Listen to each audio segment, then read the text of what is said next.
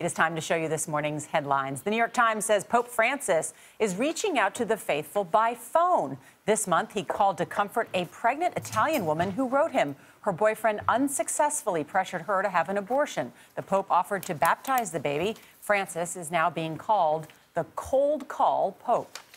Washington Post says the TSA is launching a new program to speed up airport security lines, even for those who don't join the pre-check program.